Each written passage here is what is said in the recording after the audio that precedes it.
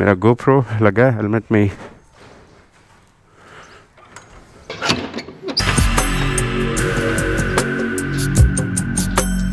एक सौ बीस साल पुरानी है।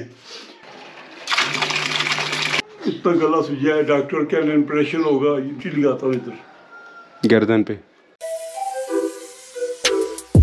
आशीष टिप्पणी ये है कि वो वाला यू टर्न जो था वो गलत साबित हुआ तो मैं उसी यू टर्न के सर्विस रोड पे आया और शायद सैदपुर विलेज को यही रास्ता जाता हो। ये परवीन शाकिर रोड लग यही रहा है। अब मुझे चेक भी करना है। खबान, नहीं नहीं नहीं नहीं it's it's I think in the back ये रास्ता भी नहीं है, क्योंकि कल मैं यहाँ पे, एक तो इस्लामाबाद ना? हर जगह एक जैसा ही है। अब ये दरख्त देखें जैसे ये सब एक जैसे हैं। अब पूछना पड़ेगा किसी से। अभी फ़िलहाल मैंने गूगल मैप को जहमत नहीं दी। चलें, देते हैं ट्राई करते हैं। लेट मी चेक एक दिन कबल ही सैदपुर विलेज को जाने वाले रास्ते का बोर्ड देखा था और ऐसा महसूस हो रहा था कि मैं आसानी से पहुँच जाऊँगा। लेकिन गूगल बाबा के सपोर्ट के बगैर ये मुमकिन नहीं था। लिहाजा सपोर्ट लेनी पड़ी। असल में ये वाला मोड़ था और गूगल बाबा भी मुझे ये दिखा रहा है। वो फैसल मस्जिद बिल्कुल मेरे सामने। मुझे गूगल बाबा बता रहे हैं कि आपने इसी में राइट लेना है। वो सुजुकी मुझे दिख गई है तो इसका मतलब है कि मैं वाकई एक विलेज की तरफ़ ही जा रहा हूँ। ये विलेज वाकई पहाड़ों के दरमियान में है। इसके तीनों अतराफ में पहाड़ हैं और बीचों बीच ये एक पुराना सा विलेज। गूगल मैप को भी साथ में फॉलो कर रहा हूँ। Get going get going get going yes absolutely nice work nice work किसी ने भी नहीं आना बाबा किसी ने भी नहीं आना that's great here we go हम ऑफिशियली सैयदपुर विलेज में एंटर हो चुके हैं। मेन मारगला रोड से चंद ही किलोमीटर के फासले पर मारगला पहाड़ियों की तरफ़ जदीद शहर इस्लामाबाद से मुगलिया अहद में पहुँच जाते हैं। मुगलिया ख़ानदान के दौर का गाँव तीन अतराफ से पहाड़ों में घिरा हुआ सैयदपुर विलेज में। Welcome to Saidpur village. Jersey तक मैं समझा पेशावर आ गया। वाह पुरानी स्ट्रक्चर कदीम स्ट्रक्चर और वहाँ पे कोई स्पोर्ट्स कार मॉडिफाइड है, जो भी है। सो हियर वी गो मेरा गोप्रो लगा है हेलमेट में ही। और ये पुराने स्ट्रक्चर पेशावर में जाएँ, गोर गटरी में तो वहाँ पे भी आपको जो शॉप्स की पुरानी शॉप्स हैं, उनके दरवाजे या उनकी जो बनावट है, वो कुछ ऐसी मिलेगी। आगे चलते हैं।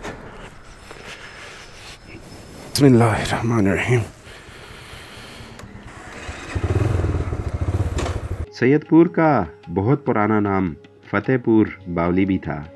गाँव के दाखिली रास्ते के साथ ही तीन गुंबदों वाली एक बहुत ही कदीम मस्जिद भी है। भट्टी सैदपुर गाँव। अब भट्टी किसको कहते हैं? शायद कोई तंदूर है यहाँ पे, जो क्या भर चुका है। सैदपुर गाँव में बंदरों की जंग शुरू हो गई है, वो दिखे ऊपर। देश परदेश, इनका नाम बहुत सुना है। ये वाली जो लोकेशंस हैं, ये खासी पुरानी लग रही हैं।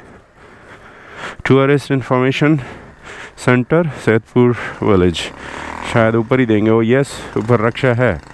Director of sports and culture नीली, मैं आ रहा हूँ वापस। ये रक्षा कल्चर सामने। पेशावर में बहुत सारे ऐसे। खैर नाला तो खैर नाल जा। गुड मॉर्निंग देश परदेश। हाउ आर यू मेरा हेलमेट का थोड़ा आप देख लें। मैं कैसे दिखता हूँ? रात में बताया गया था कि इस्लामाबाद में सुबह बहुत ज़्यादा बारिश होगी, बादल आए होंगे। मैंने अपना सारा प्लान भी बना लिया था कि देखता हूँ शायद दो बजे के बाद मैं फिर रिकॉर्डिंग कर सकूँ।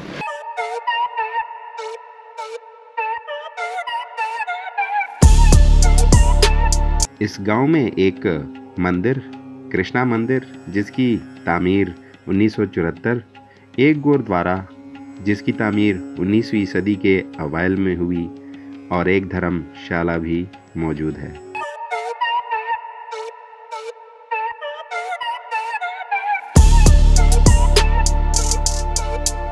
ये रहा गुरुद्वारा।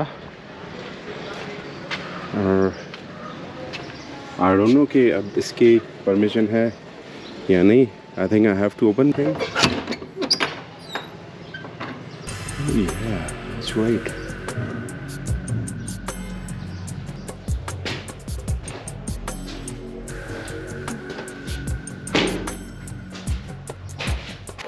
अंदर के मनाजर मैं आ चुका हूँ ये गुरुद्वारा में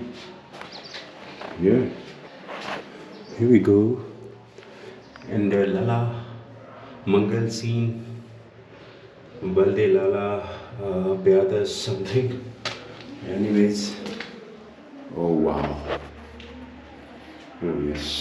शायद दीवे रखने के लिए कुछ ताक वगैरह हैं। या जो इनके अपने मजहबी रसूमात होते हैं, उनको अदा करने के लिए शायद। वाकई वो तारीखी और बहुत ही पुरानी कंस्ट्रक्शन लग रही है।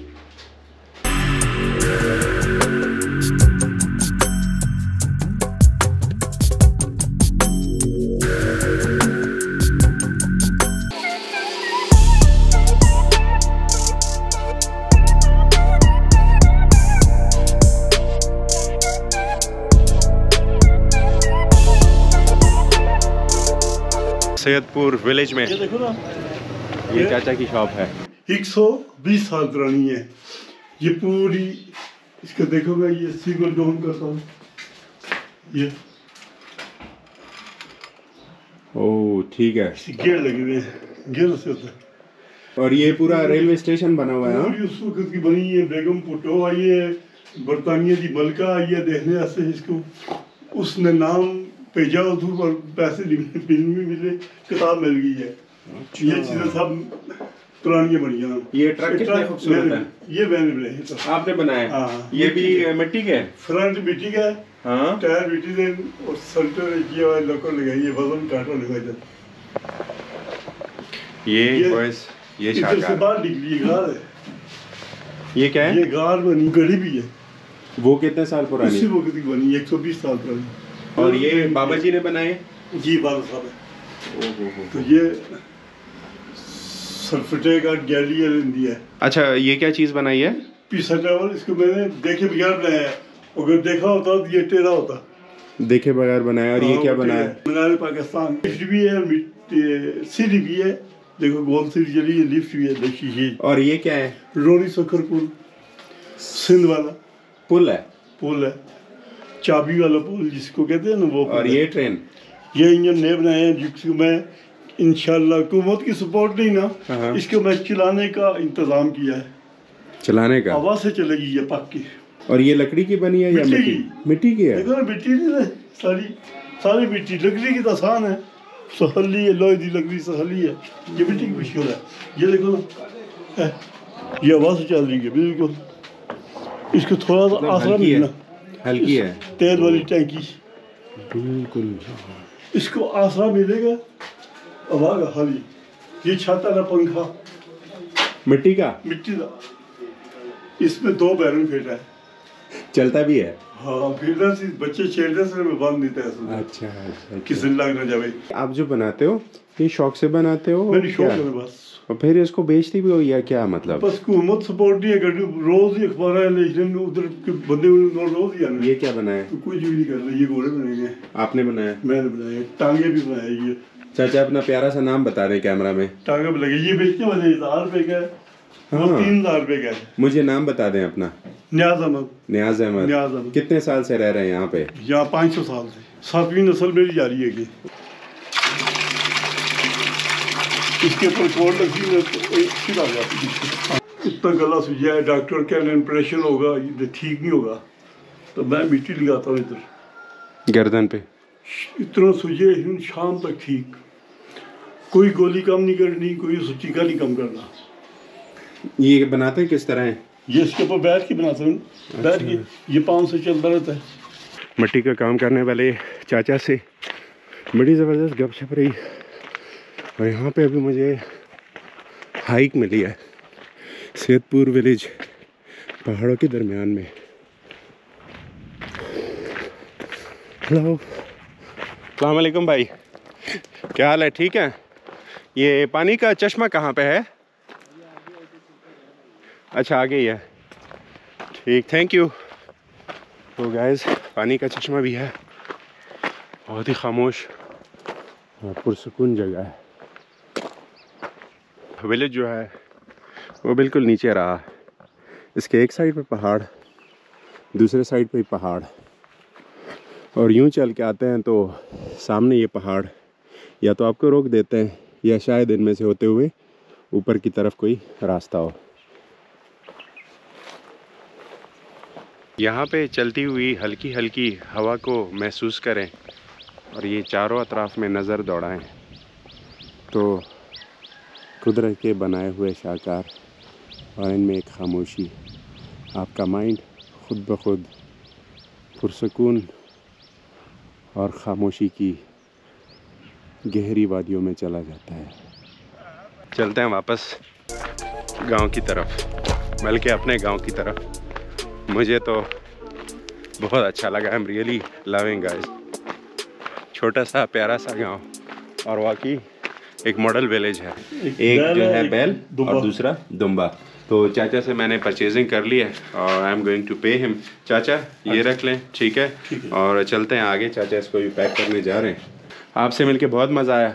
अल्लाह आपको खुश रखे अल्लाह आपके रिजक में बरकत दे। इजाज़त है। इंशाल्लाह मुलाकात होगी। अल्लाह हाफिज़। अल्लाह हाफिज़। Okay so here we go guys चाचा से शॉपिंग हो गई है। और अब चलते हैं नीली की तरफ़। आई थिंक आज का व्लॉग यही तक रखते हैं। उम्मीद करता हूँ आप लोग आज का ब्लॉग पसंद आया होगा। पसंद आया तो लाइक कर दें। चैनल पर नए हैं तो सब्सक्राइब कर दें। मिलते हैं किसी और ब्लॉग में। तब तक के लिए अपना ढेर सारा ख्याल रखें। टेक केयर गुड बाय माशा एंड बूम